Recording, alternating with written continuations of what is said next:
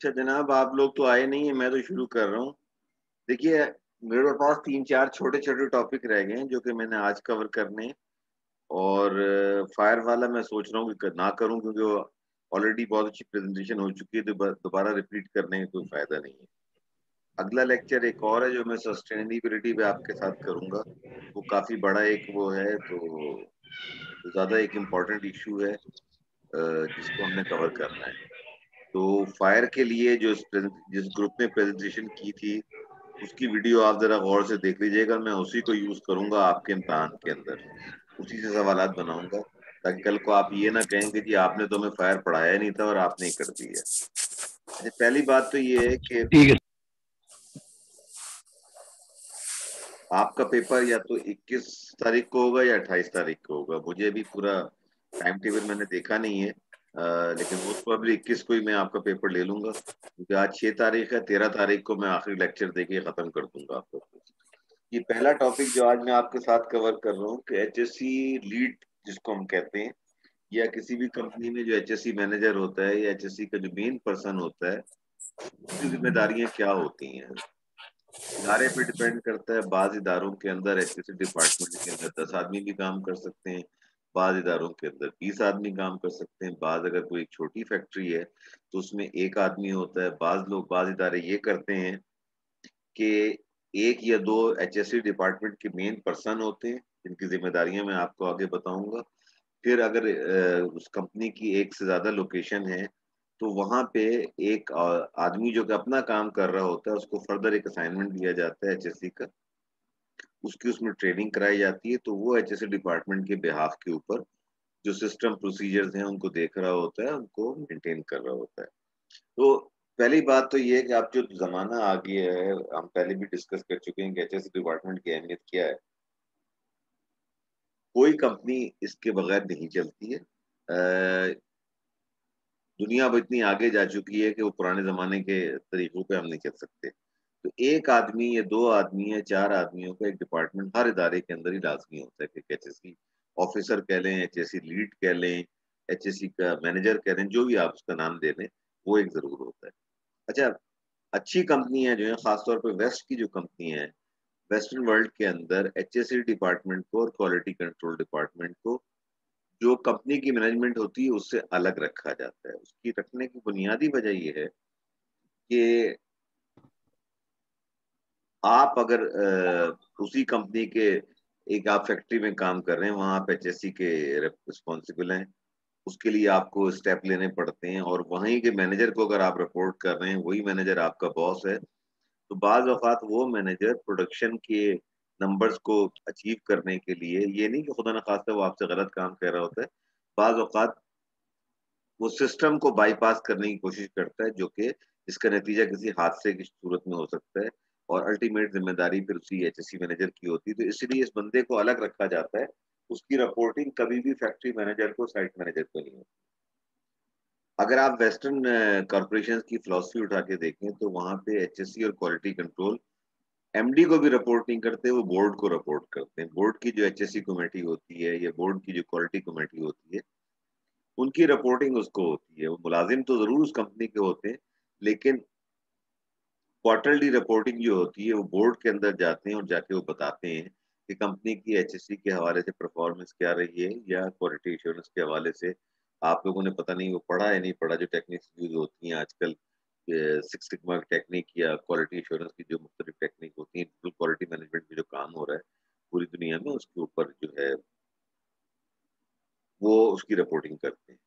अच्छा board of directors की reporting होती है। पाकिस्तान में बाज कंपनी जो है वो बाईपास करती हैं और सीधा एमडी को रिपोर्ट करती हैं। रीजन जो मैंने आपको बताया रीजन उसका यही है कि प्रोडक्शन वाला जो होता है, वो कभी कभी अपने टारगेट्स मीट करने के लिए शॉर्टकट मारते हैं। अब ये जो मैंने एक छोटा सा आर्गोनोग्राम आपके लिए दिखाया है कि मैनेजिंग डायरेक्टर है, उसके अंडर में तीन डायरेक्टर है। एक फ़र्स्ट कर लीजिए डायरेक्टर फाइनेंस है, एक डायरेक्टर मार्केटिंग है और एक डायरेक्टर ऑपरेशन है। डायरेक्टर ऑपरेशन का काम क्या है कि वो जितनी भी जो यूनिट प्रोड्यूस हो रहा है उसकी प्रोडक्शन उसकी जिम्मेदार, ज़िम्मेदारी होती है। उसके अंडर में फिर फर्दर फैक्ट्रीज हो सकती हैं, और लोग हो सकते हैं। मैंने बड़ा सिंपल सा ही आपके लिए बनाया है। डायरेक्टर मार्केटिंग का काम ये होता है, उसके अंडर में सौ, डेढ़ सौ आदमियों की टीम होगी। अब आप में से जैसे कुछ लोग मोटरसाइकिल कंपनीज़ में काम करते हैं। अब मोटरसाइकिल कंपनी में जो काम करते हैं, ज़ाहिर है कि जो मार्केटिंग का डायरेक्टर होगा, उसका काम ये है कि वो होलसेलर रिटेलर के साथ ताउन करके वो ऑर्डर लेके आता है फोरकास्टिंग लेके आता है और वो डायरेक्टर ऑपरेशन को बता देता है। डायरेक्टर ऑपरेशन जो है, उसी हिसाब से प्रोडक्शन शेड्यूल बनाता है और मंथली वीकली बेसिस के ऊपर वो डिलीवर करते हैं। डायरेक्टर फाइनेंस का काम जरा इनसे हटके होता है। वो ये देखता है कि कोई भी चीज़ जब तक कि उसकी पेमेंट ना आ जाए, वो मार्केट में ना जाए और मतलब जो आपके वेंडर्स हैं, उनकी पेमेंट वगैरह करना, आपके एम्प्लॉयज़ की सैलरीज वगैरह अब यहाँ पे देखिए एच लीड टीम को ऊपर दिखाने का मकसद ये नहीं है एच एस सी लीड जो है वो डायरेक्टर से बड़ा होता है। नहीं, ये सिर्फ़ रिपोर्टिंग एडमिनिस्ट्रेटिव रिपोर्टिंग है कि अगर कोई भी काम, चाहे वो मार्केटिंग वाला हो, चाहे वो फाइनेंस वाला हो या डायरेक्टर प्रोडक्शन हो, कोई काम भी ऐसा कर रहा है जो कि कंपनी के लेट डाउन सिस्टम प्रोसीजर्स के खिलाफ है, उसकी खिलाफ वर्जी हो रही है तो उसको वो एमडी को रिपोर्ट कर सके। अभी हमने पिछले लेक्चर्स में हमने ये डिस्कस किया, देखा कि सेफ्टी की बहुत बहुत सारी किस्में होती हैं। सेफ्टी घर के ऊपर भी होती है सेफ्टी ऑफ़िस में भी होती है सेफ्टी सड़क पे भी होती है। अब मैं एक कंपनी को जानता हूँ, जिसके अंदर ये तरीक़ाकार था कि आपका कोई भी एम्प्लॉय अगर दूसरे साथी एम्प्लॉय को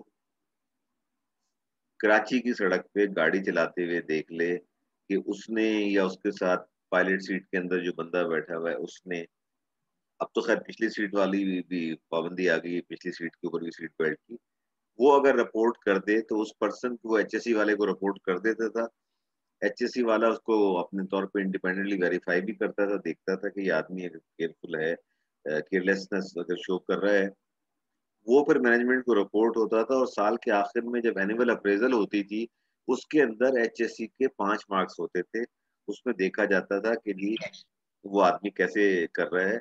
और ऐसा भी हुआ है कि एक आदमी की अपने एरिया में, यानी अप्रेजल के दो हिस्से होते हैं। एक होता है टेक्निकल या आपका जो अपना काम है, एक होता है आपका सेल्फ प्रमोशनल, कि आपकी अदर स्किल्स कैसी हैं। उसमें अगर एचएससी में आपके नंबर एक या अगर फुल मार्क्स नहीं है, आउट ऑफ़ फाइव तो वो और आपकी एक या दो वायलेशन रिपोर्ट हो गई हैं तो आपकी ओवरऑल इवेल्यूएशन जो है वन स्टेप डाउन कर दी जाती है। मिसाल के तौर पे, इस बार जो मॉडर्न ट्रेंड दुनिया में चल रहा है, वो पाँच एम्प्लॉज को साल के आखिर में पाँच हिस्सों में डिवाइड किया जाता है।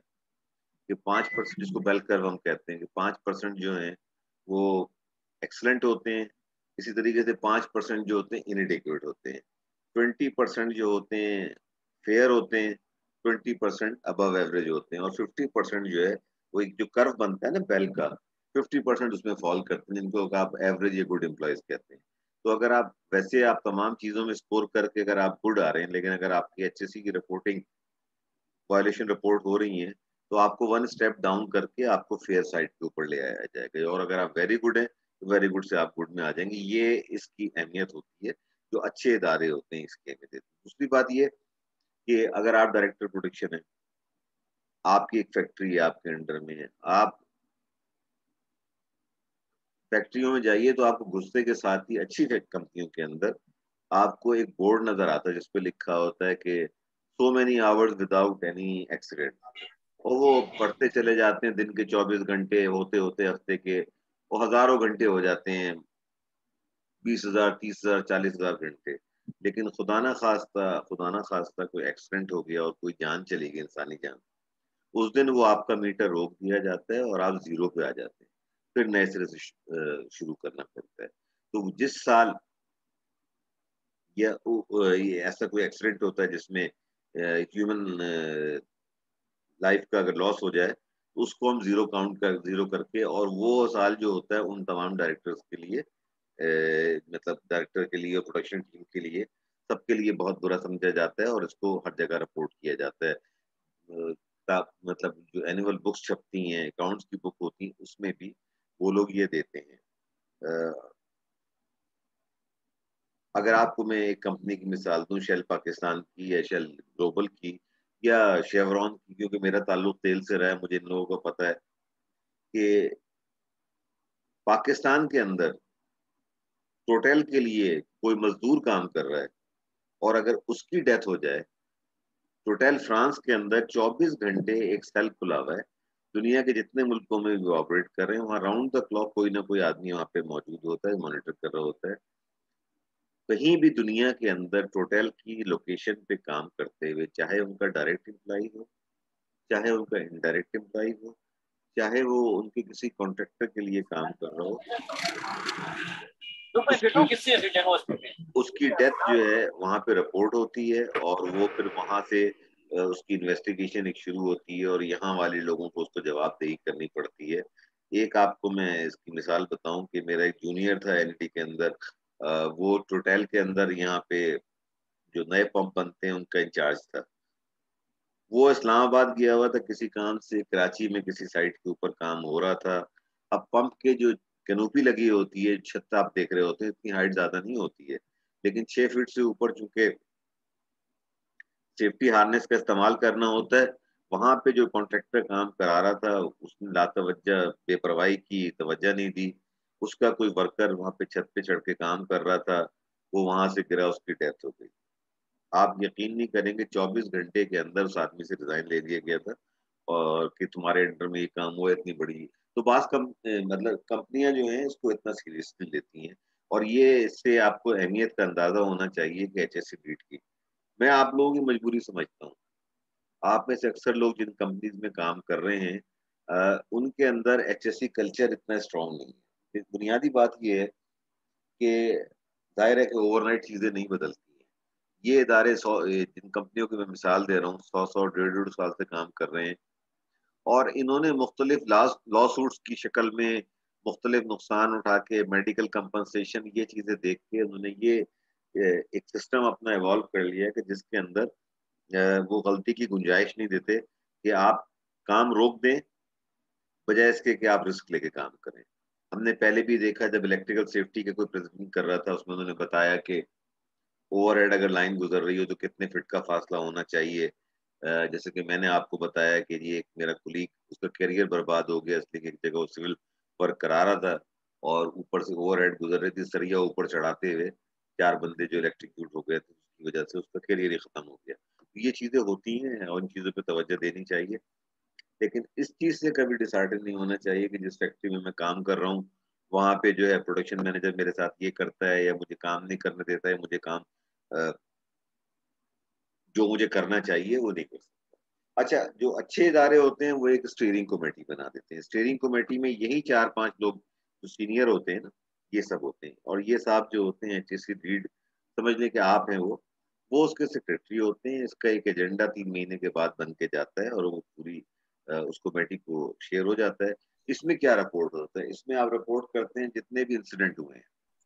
या एक्सीडेंट हुए या नियर मिस हुए अब इंसिडेंट एक्सीडेंट नियर मिस तीनों अलग अलग अल्फाज हैं। नियर मिस का मतलब क्या है? आ, कोई आप में से मुझे बताएगा? नियर मिस किसे कहते हैं? क्यों जनाब? भाई बाईस हजरात मौजूद हैं कोई तो बोलिए। जी सर। नियर मिस किसे कहते हैं? सेफ्टी की इस्तला में? एच की इस्तला में? What is near miss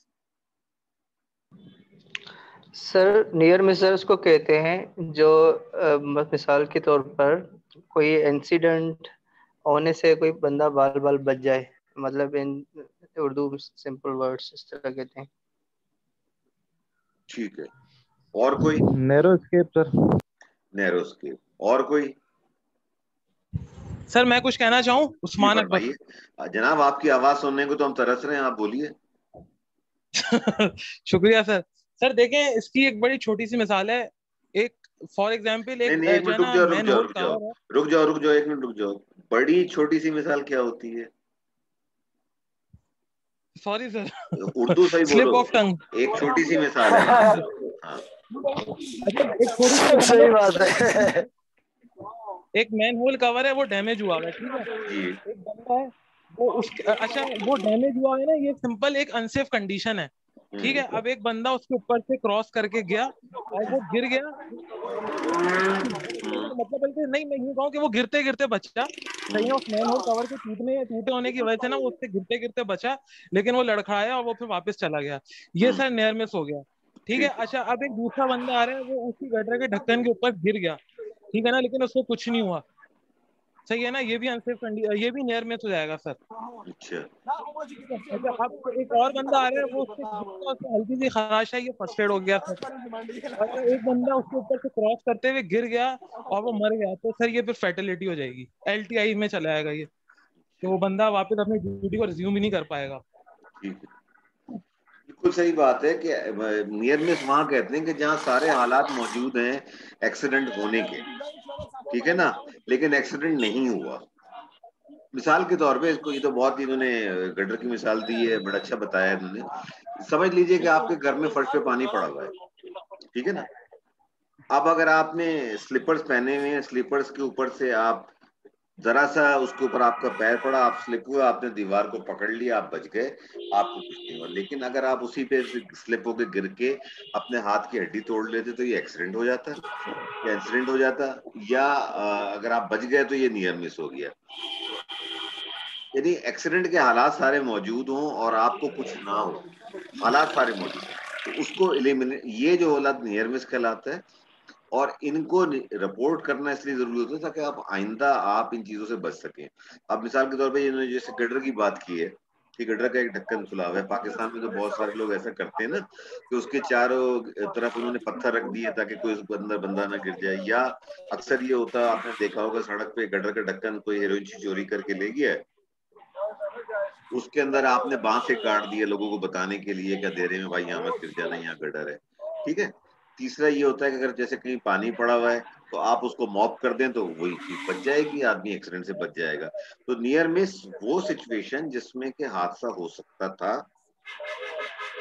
accident हो सकता था लॉस टाइम इंजरी हो सकती थी फेटलिटी हो सकती थी लेकिन नहीं हुई। उसको हम नियर मिस कहते हैं। यार, यार ये भाई किसका माइक खुला हुआ है? खुदा के वास्ते ये तो ना किया करो यार। नियर मिस नियर मिस आपको इसलिए रिपोर्ट करना ज़रूरी होता है ताकि बाकी लोगों को भी पता चले कि क्या इस कंडीशंस की वजह से एक्सीडेंट हो सकता है। तो आप वो रिपोर्ट करते हैं ताकि दोबारा उस चीज़ को उस हैजर्ड को एलिमिनेट कर दिया जाए जो कि इंसिडेंट या एक्सीडेंट या लॉस टाइम इंजरी या फर्टिलिटी का सबब बन सकता है। शुरू हमेशा चीज़ें नियर मिस से होती हैं और अल्टीमेट जो चीज़ होती है वो फर्टिलिटी होती है कि जिसके अंदर इंसान की जान चली जाए। या लॉस्ट टाइम इंजरी का मतलब ऐसी चोट लग गई कि उसको कंपनी को कंपनी के प्रीमिस में उसको चोट लगी है, एक दिन के लिए या दो दिन के लिए, चार दिन के लिए, छह दिन की उसको छुट्टी देनी पड़ी तो ये उसके अंदर आ जाता है और ये सारी इसकी ये सीरियस ऑफेंस बन जाता है। ये सारा डाटा जो होता है किसी भी कंपनी का, वो ग्राफिकली या नंबर्स की सूरत में हर डिपार्टमेंट में, अगर एक कंपनी में सत्रह डिपार्टमेंट हैं या बीस डिपार्टमेंट तो हर डिपार्टमेंट का वो प्रेजेंट किया जाता है। और इसी तरह मैनेजमेंट के सामने। जो डिपार्टमेंट सबसे खराब होता है, जिसमें मैक्सिमम वायोलेशन आ रही होती हैं, उसके हेड को बुला के उससे पूछा जाता है, जनाब, आपके अंडर में जो लोग हैं ये आपका डाटा शो कर रहा है एच का कि आपने पिछले तीन महीने में आपकी ये परफॉर्मेंस रही है। आपकी किस मुराद ये आपके डिपार्टमेंट की ये परफॉर्मेंस रही है? तो आप अपने आप को एक्सप्लेन करें। इसी तरीके से जो इंजरीज हुई हैं, उनको पूरा रिकॉर्ड करना पड़ता है। कि जी काम करते वक्त किसी का हाथ कट गया तो उसकी फ़र्स्ट एड दी गई उसको, या सीढ़ियों पे से कोई आदमी स्लिप हो गया, उसका एंकल फ्रैक्चर नहीं हुआ ट्विस्ट हो गया उसका एंकल तो दो दिन के लिए उसको रेस्ट बताया गया, ठीक है ना? अच्छा बाज अवत ये होता है कि अगर आपके चोट लगती है तो इंश्योरेंस में केस जाता है इंश्योरेंस तो जितने, जितना आप गाड़ी की इंश्योरेंस कराते हैं, खुदा ना आपकी गाड़ी का एक्सीडेंट अगर हो जाए इंश्योरेंस क्लेम आपको मिले नेक्स्ट ईयर आपका इंश्योरेंस प्रीमियम जो है कंपनी बढ़ा देती है। यही चीज़ एम्प्लॉयज़ की जो आप ग्रुप इंश्योरेंस लेते हैं या इंडिविजुअल इंश्योरेंस लेते हैं, उसके अंदर भी ये चीज़ काउंट करती है, किसी कंपनी में कितने एक्सीडेंट हो रहे हैं, कितनी कंपनसेशन देनी पड़ेगी उस हिसाब से उनके रेट को कंपनियाँ इंक्रीज कर देती हैं। तो ये कुछ जिम्मेदारियाँ होती हैं, जो कि आपकी होती हैं स्टेयरिंग कमेटी को रिपोर्टिंग के हवाले से। अच्छा एक ये होता है काम जो एच वाले का होता है कि वो रिपोर्ट क्रिएट करता है। रिपोर्ट का एक पैटर्न बनाता है रिपोर्ट जनरेट करता है। मुख्तलिफ़ डिपार्टमेंट को सर्वे करता है इंस्पेक्शन करता है। अल्लाह ना करे किसी डिपार्टमेंट में आप हेड ऑफ़िस में बैठे हुए यहाँ से बिन कासिम में आपकी फैक्ट्री वहाँ कोई एक्सीडेंट हो गया ठीक है ना? अब उस एक्सीडेंट की इन्वेस्टिगेशन की ज़िम्मेदारी एच वाले की होती है। तो वो वहाँ पे जाता है, उसको जाके पूरे इन्वेस्टिगेट करता है, ये देखता है कि जी, क्या सिचुएशन थी, किसके अंदर क्या हुआ रिस्क तो नहीं दिया गया हाइट के ऊपर अगर बंदा काम कर रहा था प्रॉपर सेफ्टी गियर था या नहीं था, जैसे कि यहाँ पे भी हुआ था किवाड़ी के ऊपर, ये टैंक एक बन रहा था टैंक की वेल्डिंग हो रही थी नीचे जो है, ऊपर से जो है, छत खुली हुई थी, शीटें लगा लगा के उसके जाल बना हुआ था उसके ऊपर एंगल्स के ऊपर वो शीटें रख रहे थे क्रेन का वो टूट गया, जिससे शीट उठाई गई थी स्लिंग जो है। उसने टूट के नीचे आके दो बंदों को मार दिया। ये मैंने खुद देखा ये एक्सीडेंट अब इस तरह की जब चीज़ें होती हैं, ये आप जाके उसको इन्वेस्टिगेट करते हैं, देखते हैं कि जो स्लिंग यूज़ की जा रही थी, उसके वायर जो थे डैमेज थे या नहीं थे, ये इतना सडन इम्पैक्ट पे तो टूटना नहीं चाहिए। फिर आप स्ट्रेटजीज बनाते हैं, ये भी आपका काम होता है कि कंपनी के अंदर एचएससी कल्चर को इंट्रोड्यूस करने के लिए। और एचएससी कल्चर जो है ना, ये बिल्कुल उसी तरीके से जैसे पाकिस्तान में आप किसी को अखलाकियात सिखाने की कोशिश करें। ये बिल्कुल इतना इतना मुश्किल काम होता है जिस तरह हमारे यहाँ जो अखलाकियात का हाल हो गया है ना। मैं कल बच्चों से यही बात कर रहा था। लॉ के बच्चों का मसला हो गया तो उनकी क्लास में जाके, मैं सिटी कैंपस में यही मैं कह रहा था। मैंने कहा, भाई, हमारे यहाँ तो अखलाकियात इस तरीके से ख़त्म हो रही हैं माशरे से कि लड़ाई दो आदमियों की होती है। पहला जुमला जो उनकी जबान से निकलता है, वो एक दूसरे की माँ बहन के साथ का नाम लेके गालियाँ दे रहे होते हैं। ये तो हमारी अखलाकियात है तो ये एचएससी का भी यही पोजिशन है कि आपको इस कल्चर को बनाना पड़ता है बार बार कहना पड़ता है बार बार दोहराना पड़ता है। जब आप दोहराते हैं स्ट्रेटेजीज बनाते हैं और आपको इसमें step by step A B C से चलना पड़ता है। अगर आप ऐसा करेंगे ना कि जी, आप गए, आपने कहीं से कोई एच एस मैनुअल चोरी किया चोरी से मुराद ये कि आपने उठाया कॉपी पेस्ट किया और उसके अंदर अपनी कंपनी का नाम डाल के आपने छाप दिया, आप कभी भी उस चीज़ को इम्प्लीमेंट नहीं कर सकते। आपको उस कंपनी के कल्चर को देख के, उसको समझ के कि यहाँ क्या है, लोगों की तालीम का मैार देख के, फिर आपको उनसे, उनकी जबान में, उनके लेवल पे आगे आके आप बात करते हैं, तब जाके उसके बात समझ में आती है और वो रफ्ता रफ्ता रफ्ता रफ्ता चीज़ों को समझने की कोशिश करते हैं। मिसाल के तौर पे आपको याद होगा किसी ग्रुप पे किसी ने एक वीडियो शेयर की थी कि जिसमें एक वर्कर जो है अपने बॉस से कह रहा है कि जी ये काम जो है सेफ़ नहीं बॉस उसको कुछ कहता है। वो एक ज़ाहिर एक हाइपोथेटिकल वीडियो थी एजुकेशन के लिए। तो ये चीज़ अगर आप समझाने में कामयाब हो गए एच एस लीड के तौर पे कि भाई जिस तरह सेफ़ एंड साउंड अपने घर से निकले, हँसते खेलते अपने घर से निकलो, इसी तरीके से हँसते खेलते अपने घर वालों से जाके मिलो तो फिर तो ठीक है। वरना आप कुछ भी कर लें, कुछ नहीं होता। अच्छा इसमें ये भी होता है कि आपको ट्रेनिंग प्रोग्राम डिज़ाइन करने पड़ते हैं। अब मिसाल के तौर पे जिस कंपनियों के अंदर ड्राइवर होते हैं, बात कंपनी ड्राइवर हायर किए जाते हैं जिनका एडमिनिस्ट्रेशन डिपार्टमेंट बड़ा होता है, उनको ये समझाना कि डिफेंसिव ड्राइविंग क्या होती है सीट बेल्ट लगाना क्या होता है, ये तमाम चीज़ें उनको सिखाना, ये भी एक मरला होता है। तो इसके लिए कुछ बाज़ात आपके पास स्पेशलाइज ट्रेनिंग होती है, आप वो ले लेते हैं, या आप स्पेशलाइज ट्रेनिंग को हायर कर लेते हैं। आप डिफेंसिव ड्राइविंग आपकी फ़ील्ड नहीं है। लेकिन मार्केट के अंदर ऐसे लोग मौजूद हैं जो कि डिफेंसिव ड्राइविंग पे जिन्होंने बहुत काम किया हुआ है, आप उनमें से किसी को बुला लेते हैं, आप कंपनी में पंद्रह ड्राइवर बीस ड्राइवर हैं, आप दस दस के ग्रुप बना के उनको दिखाते हैं। और देखिए, याद रखिए कि उनको आप उन तक आपको अप्रोच करने के लिए उनके लेवल पे आना पड़ेगा।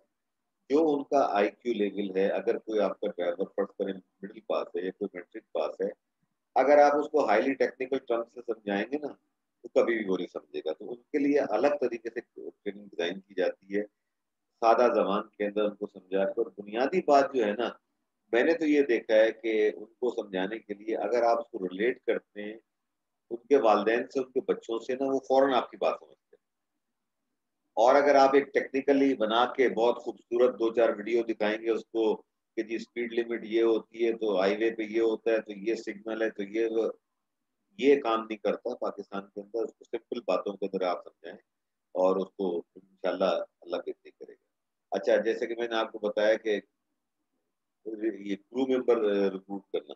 ये आप जब ऐसे किसी को उठा के ज़िम्मेदारी नहीं दे देते एच आप पहले सर्वे करते हैं, आपकी कंपनी के अंदर में दस लोकेशन है। तो आप दस लोकेशन पे जाते हैं, लोगों से मिलते हैं, बात करते हैं, उनके साथ चाय पीते हैं, बैठते हैं। देखिए, याद रखिए एचएससी कभी जो है ना थानेदारी से नहीं इम्प्लीमेंट होती। जिसने थानेदारी करके इम्प्लीमेंट करने की कोशिश की, वो कभी नहीं कर सकता। आपको उनके साथ बैठना पड़ेगा, आपको वर्कर्स के साथ बैठना पड़ेगा, उनके मसाइल सुनने पड़ेंगे। कि हम जैसा सर मैं अपना एक्सपीरियंस शेयर करता हूँ इसमें। मैं टेक्स एडमिनिस्ट्रेटर मैंने स्टार्ट में ज्वाइन किया था। तो मैंने बड़ी कोशिश की सर के सेफ्टी वगैरह के ऊपर वर्कर्स को समझाऊं कोई फ़ायदा नहीं होता था। तो फिर मैंने अपने एंड पे ये किया कि जो वहाँ पे सुपरवाइजर्स और जो वर्कर काम करते हैं उससे दोस्तियाँ की सर। और काफ़ी टाइम ये भी होता था कि जो मैं लंच वगैरह करता था वो उन फ्लोर पे ही बैठ के उन लोगों के साथ करता था। फिर डिस्कशंस वगैरह होती थी फैमिली की, इसकी, उसकी डिफरेंट बातें होती थी। तो इसके बीच में मतलब उनसे बॉन्डिंग इतनी हो गई थी कि सिर्फ़ जब मैं उनसे बस यही कहता था, क्योंकि मैनेजमेंट जो है ना सर नॉर्मल डेज़ में सेफ्टी इक्विपमेंट्स वगैरह नहीं देते थे। मैनेजमेंट का फोकस ये होता था कि भाई हमारा ऑडिट क्लियर होना चाहिए। तो बस ये था कि दोस्ती यारी हो गई उनसे काफ़ी अच्छी बातचीत हो गई मतलब एक बॉन्ड बन गया था। तो बस जब कहने की देर होती थी और सब वर्कर एकदम फिटफाट तैयार हो जाते थे।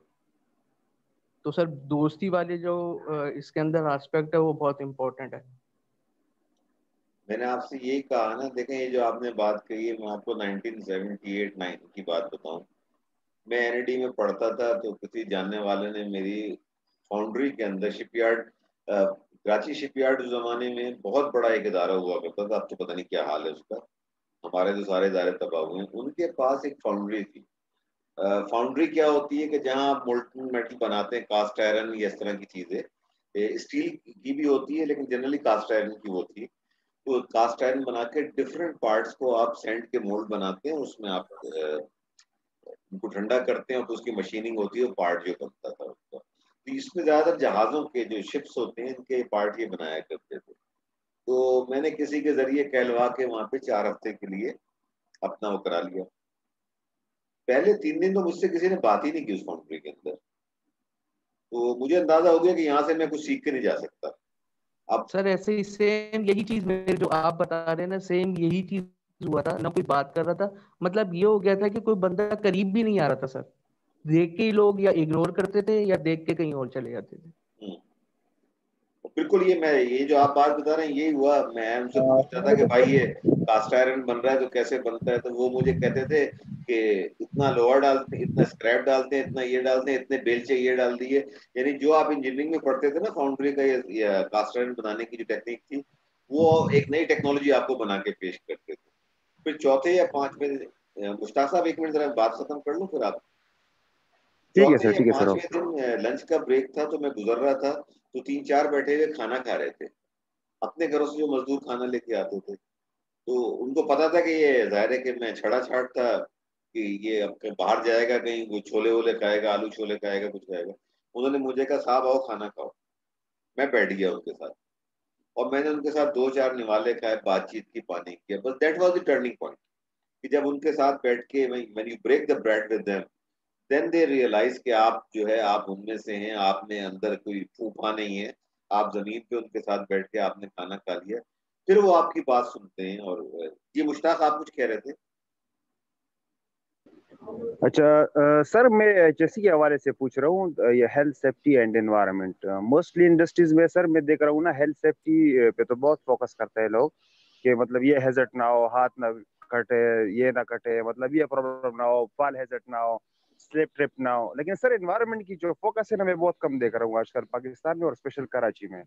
मोस्टली यहाँ पर इन्वायरमेंटलिस्ट बैठे हुए हमारे क्लास में। फोकस तो होती है कि भाई हेल्थ सेफ्टी या एलिमिनेशन सब्सटीट्यूशन जो हेरारकी है ना, वो तो सबकी कॉन्सेप्ट है। लेकिन सर अगर आप देख लेना कराची का और आल एनवायरनमेंट ये जो कोरंगी इंडस्ट्रियल एरिया है साइट एरिया है फेडरल भी एरिया जोन है। सर यहाँ पे आपने अगर एनवायरनमेंट का थोड़ा सा वो जायजा लिया हो तो मेरे ख्याल से बहुत बैड एनवायरनमेंट है। वो जो, क्या कहते हैं क्रोनिक इफ़ेक्ट कहलाता है। एक तो एक्यूट होता है क्रोनिक इफ़ेक्ट तो मैं समझता हूँ कि फ्यूचर में जितने भी हमारे जो नौजवान या आने वाले नस्ल है, उन पे तो काफ़ी इफ़ेक्ट पड़ेगा। तो मेरा कहने का मकसद है कि हेल्थ सेफ्टी पे तो हम लोग फोकस कर रहे हैं, लेकिन एनवायरनमेंट पे अभी तक सर हम लोगों ने कोई इस तरह कोई खास डिस्कस नहीं किया है जिससे हम लोग वो करें। देखें एनवायरनमेंट पे मैंने पहले भी आपके साथ डिस्कस किया और आपको बताया। प्रॉब्लम क्या है? यहाँ प्रॉब्लम ये है कि एनवायरनमेंट आपको लॉन्ग टर्म डैमेज करता है। आपकी सेहत को over a period of time आपको वो खराब करता है। हम जो अभी सेफ्टी पे इसलिए कर रहे हैं, जिसकी जैसे आपने खुद कहा ना कि तीन चीज़ें हैं। पहले हमने डिस्कस किया ऑक्यूपेशनल हेल्थ कि जब आप एक सर्टेन एनवायरनमेंट में ज़्यादा पीरियड तक काम करते हैं तो उस एनवायरनमेंट में आपकी बॉडी सर्टेन डिजीजेज डेवलप हो जाती हैं, जिनको कि हम ऑक्यूपेशनल डिजीजेज या ऑक्यूपेशनल हैजर्ड्स कहते हैं। जैसे कि हमने बात की थी सीमेंट इंडस्ट्री की, या हमने बात की थी स्टील इंडस्ट्री की ये सेकंड स्टेज आती है आपकी सेफ्टी की, जैसे आपने बात की कि अपनी जान को बचाओ, अपने हाथ बचाओ, अपने पैर बचाओ। तीसरी चीज़ आती है एनवायरनमेंट की। देखिए एनवायरमेंट का ताल्लुक जो है ना, वो एक मुल्क में रहने वाले जितने भी लोग हैं, उन सब के लिए। बल्कि एनवायरनमेंट के लिए तो पूरी दुनिया का ग्लोबल एक इशू है कि मैंने आपसे मीटर में सवाल भी पूछा था कि पॉल्यूशन की कोई बाउंड्रीज नहीं होती है। ठीक है ना? आप अगर यहाँ पे कोई काम गलत कर रहे हैं वो ट्रेवल करके हवा के ज़रिए दूसरे मुल्क में भी जा सकता है। मैंने आपको एसिड रेन की मिसाल दी थी। क्या वजह है आज पूरी दुनिया के अंदर कोल प्लांट बंद होते चले जा रहे हैं? इसलिए कि कोल प्लांट जलने से कार्बन ऑक्साइड बनती है उससे सल्फ्यूरिक एसिड बनता है सल्फ़र डाइऑक्साइड सल्फ़र ट्राइऑक्साइड बनती है। वो एसिड रेन होके दूसरे मुल्क में जाके होती है। तो ये जो आप एनवायरमेंट की बात कर रहे हैं ना एनवायरमेंटल डैमेज तो बहुत ज़्यादा हमारे मुल्क के अंदर हो रहा है। अभी आगे जब हम बात करेंगे वेस्ट के ऊपर उस वक्त हम देखेंगे हमने मरीन का क्या हाल कर दी है अपनी। ये सब चीज़ हमारे पास तो एक तबाही की दास्तान है ना। हमारे पास कोई एक ऐसी मिसाल नहीं है कि जिसके अंदर हम कह सकें कि हाँ जी ये एक अच्छी मिसाल है हमारे पास जिसको हम लोगों को बता सकें, ये कर सकें। तो मैं तो सिर्फ़ ये आपको बता रहा हूँ कि जब आप फैक्ट्री के अंदर काम कर रहे होते हैं ना, या आप किसी फैक्ट्री के अंदर एच मैनेजर हैं, ओवरऑल एनवायरनमेंट को बचाने के लिए आप दो काम कर सकते हैं। एक, आपकी फैक्ट्री का जो वेस्ट वाटर है, वो अनट्रीटेड जो है, ना जाए नंबर वन नंबर टू जो आपका देखे ना, वो आपने सुने भी होगा कि ये हमारे यहाँ इस्लाम में ये बात कही जाती है कि जिसने एक इंसान की जान बचाई, उसने इंसानियत की जान बचाई। ये है ना? बड़ा मशहूर कॉल है ना ये? यही चीज़ आपके ऊपर अप्लाई होती है कि आपकी पहली ज़िम्मेदारी जो आपके को वर्कर्स हैं उनके जान और उनके आजा की हिफाजत है। ये आपकी पहली रिस्पॉन्सिबिलिटी होती है। आपकी बिल्कुल बात सही है कि एनवायरनमेंट पे हमारे यहाँ वो अवेयरनेस नहीं है। अगर मैं किसी से पूछूँ यहाँ पाकिस्तान में, आप लोग किस आदमी बैठे हुए क्योटो प्रोटोकॉल क्या है भाई? कब आया था? दुनिया के अंदर आप जाके बात करें ना छोटे छोटे बच्चे एनवायरनमेंट के ऊपर अवेयरनेस होती है, स्कूलों से उनको अवेयरनेस दी जाती है, उसके ऊपर वो काम कर रहे होते हैं, सीख रहे होते हैं, समझ रहे होते हैं, जब बड़े होते हैं तो उसको इम्प्लीमेंट कर रहे होते हैं। तो मुश्ताक साहब, आपके सवाल का जवाब ये है कि वाकई हमारी तवज्जो नहीं है, लेकिन बात वही आती है ना कि जिस शहर के अंदर आप रह रहे हो, जहाँ 1950 की बस जमशेद रोड पे जाइए मैं जब कराची आया था 1976-77 में, जो बसें एट डी की, या एट ए बी सी की जो चलती थी, उनको मैं जमशेद रोड पे सही होते देखता था। आज भी वही बसें कराची की सड़कों पे चल रही हैं। आपको कोई नई बसें नज़र नहीं आ रही हैं। ढाई करोड़ की आबादी के शहर में कोई पब्लिक ट्रांसपोर्ट सिस्टम आपको नज़र नहीं आ रहा। आपको रक्षा नज़र आ रहे हैं, आपको धुआँ फेंकने वाली वैगने नज़र आ रही हैं, सब नज़र आ रही हैं। एक पब्लिक सत्तर साल में अगर आप एक पब्लिक ट्रांसपोर्ट ना दे सकें सिस्टम मैं कोई पॉलिटिकल बात नहीं कर रहा हूँ। तो आप फिर कैसे तो करेंगे यहाँ का माहौल बेहतर होगा? अभी मैं आपसे सस्टेनेबिलिटी में जो अगले हफ़्ते आपसे बात करूँगा तो उस वक्त मैं आपको ये बताऊँगा कि एक आदमी अगर एक गाड़ी के अंदर दफ्तर जा रहा है तो कितना पॉल्यूशन क्रिएट कर रहा है? एक आदमी अगर साइकिल पे जा रहा है तो क्या पॉल्यूशन क्रिएट कर रहा है? एक साठ आदमी अगर एक बस में जा रहे हैं तो कितना पॉल्यूशन क्रिएट हो रहा है। पब्लिक ट्रांसपोर्ट सिस्टम पे दुनिया ने यही समझ के आई है कि भाई इंडिविजुअल गाड़ियाँ जो हैं पॉल्यूशन का लोड बढ़ा रही हैं। चाइना सबसे बड़ा पॉल्यूटर है अमेरिका उसके बाद पॉल्यूटर है इंडिया उसके बाद पॉल्यूटर है। इनको जो हम क्रिटिसाइज करते हैं और जो बातें कहते हैं उसी वजह से कहते हैं। जी आसकानी साहब कुछ आप कह रहे थे आप? वैसे भी टाइम खत्म हो रहा है। जी। ये सर मैं सर छोटी सी बात करूँगा। मेरे हिसाब से सर ये जो जितनी हेल्थ सेफ्टी इन्वायरमेंट की इम्प्लीमेंटेशन ना होने की वजह, एक तो छोटी छोटी इंडस्ट्रीज़ सेट कंपनियों ने खोल दी है, उनका काम सिर्फ़ पैसा कमाना हो गया है, और दूसरा करप्शन का लेवल बढ़ गया ये दो चीज़ें ऐसी हैं जो मेजर हैं। मेरे हिसाब से इस पे जो ना इग्नोरेंस बहुत चलता है। जहाँ, जैसे मैं अपने लेवल पे अगर बात करूँ, मैंने भी बहुत सारी जगह पर कंसर्न रेस किया है। तो at the end top management पे मुझे मतलब चुप कराया गया है बाकायदा कि यार आप इस चीज़ को छोड़ दो। तो मैंने देखा है कि जो ना बाज अवकात आप अपनी अप्रोच तक तो चल जाते हैं, कहते हैं, जहाँ तक आपकी अप्रोच है, आप पहुँच जाते हो, आप कहते हो कंसर्न रेस करते हो इशू रेस करते हैं। लेकिन ये है कि एट दी एंड आपको वही जवाब मिलता है कि यार आप इस काम को छोड़ दो, बस ये एज इट इज़ चलता रहेगा, इसमें हम देख लेंगे बाद में। या तो सेठ कंपनियाँ ऐसी हैं जो कि सिर्फ़ अपनी जना जना कहते हैं कि पैसा बढ़ाने के लिए, पैसा कमाने के लिए वो पोल्यूशन में हर अतुल इम्कान जो है तकरीबन seventy to eighty percent involve है। तीसरा ये कि इम्प्लीमेंट ना होने की वजह से ये कि ऑर्गेनाइजेशन में भी ना अगर आप इतना ज़्यादा रिजिट और स्ट्रिक्ट वाला माहौल करेंगे तो उसमें भी ये होगा कि बाज अवकात दूसरे डिपार्टमेंट्स के जितने लोग होते हैं सेफ्टी से हट के वो फिर क्या कहते हैं आपको ब्लैकमेल करते हैं। वो बात बात पे कहते हैं भाई एचएससी ने काम रोक दिया अब हम तो प्रोडक्शन नहीं कर सकते हमने बंद कर दिया सिस्टम एचएससी ने मना कर दिया। तो उल्टा बल्ली आपके सर पे भी आती है। ये भी मैंने देखा है कई फेस किया हमने सर। ये कुछ इश्यूज़ है। बड़ी बहुत बड़ी डिबेट हो जाएगी इसके ऊपर के जो जिनका ज़िम्मेदारी है कि इन चीज़ों को नोट करें अगर वही इन्वायरमेंट के प्रोटेक्शन वाले ही अगर पैसे लेने पे आ जाएँ तो इन्वायरमेंट कहाँ से बचेगा? सीधी सी बात है ना ये। ये तो हमारे यहाँ एक प्रॉब्लम एक है माशरे की प्रॉब्लम है। जिस माशरे में हम रह रहे हैं वहाँ पे यही है। मैंने आपको शुरू में बताया था कि मुझे मेरे कुलीग ने कहा डॉक्टर ओसामा ने कहा सर वो ओशा 2018 सिंध गवर्नमेंट ने पास कर दिया है। आप प्लीज़ जरा उसको भी देख लें। मैंने कहा मैं तो नहीं ले, ले रहा। जी फुरकान आप कुछ कह रहे हैं? सर मैं यही कहना चाहूँगा जो अस्कानी साहब की कुछ बातें तो ठीक है लेकिन कुछ बातों से मैं ये इख्तलाफ करूँगा कि जो भी कंपनी जो लगाते हैं ना तो वो अपने प्रॉफिट के लिए ही लगाते हैं ठीक है? उनकी प्रायोरिटी प्रॉफिट ही होता है और नॉर्मली होना भी चाहिए। लेकिन ये काम है लॉ इन्फोर्समेंट एजेंसीज का। पूरी दुनिया में कोई जहाँ पे भी ये चीज़ें जो भी इंडस्ट्रीज़ कर रही है वो लॉ इन्फोर्समेंट की वजह से कर रही है। अगर वहाँ पे भी यूरोप में भी अगर जो है लॉज में रिलैक्सेशन मिल जाए या वहाँ पे भी करेक्शन हो जाए तो वो इंडस्ट्रीज़ भी जो है वो छोड़ देंगी अपनी कॉस्ट कटिंग के ऊपर आ जाएँगी। और सेकंड थिंग ये है कि जो इन्होंने बात की रिजिडिटी की कि वो रिजिडिटी में इतना क्या कहते हैं सख्त हो जाते हैं तो वो इनके ऊपर जो है वो इल्ज़ाम आ जाता है कि, कि सेफ्टी वालों की वजह से प्रोडक्शन नहीं हो रही है। तो इसके लिए अगर हमारा एज ए सेफ्टी प्रोफेशनल की ज़िम्मेदारी ये बनती है क्योंकि देख कि वो प्रॉपर उतनी वर्किंग करके जाए क्योंकि कोई भी सेफ्टी की प्रिकॉशन हम लेंगे ना उसका अगर हम सही तरीके से लेंगे तो वो प्रोडक्शन में इम्प्रूवमेंट ही लाएगी। वो कभी भी जो है वो प्रोडक्शन का लॉस नहीं करेगी। अगर वर्कर्स कहते हैं कि हम पीपीस पहनकर काम नहीं कर रहे हैं या हमसे पीपीस पहन के काम नहीं हुआ किया जा सकता है तो या तो वो इसके यूज़ टू नहीं है या फिर वाकई कोई इसके पीछे प्रॉब्लम है तो हमें प्रॉब्लम को भी आइडेंटिफाई करना है। मिसाल के तौर पे कुछ एरियाज़ ऐसे हैं मैं अगर टेक्सटाइल की मिसाल दूँ कि तो वहाँ पे गर्मी बहुत ज़्यादा होती है। और केमिकल्स का भी प्रोसेस होता है। अब वहाँ पे जो है, हमें जो मास्क रिक्वायर्ड होता है, वो पूरा फ़िल्टर वाला मास्क रिक्वायर्ड होता है। वो अगर आप उस टेम्परेचर में पहना देंगे तो कोई भी काम नहीं कर सकता। तो वो वायलेशन करेंगे हर हाल में। लेकिन इसके लिए एचएससी वालों को जो है, वो पहले रूट कॉज पे काम करना चाहिए। नॉर्मली हमारे ये ये वाला कल्चर जो है, वो एच के डिपार्टमेंट या एचएससी हेड्स की तरफ़ से भी लेकनेस होती है कि अपनी प्रॉपर वर्किंग नहीं होती है। बस चाहते हैं कि इम्प्लीमेंटेशन हो जाए।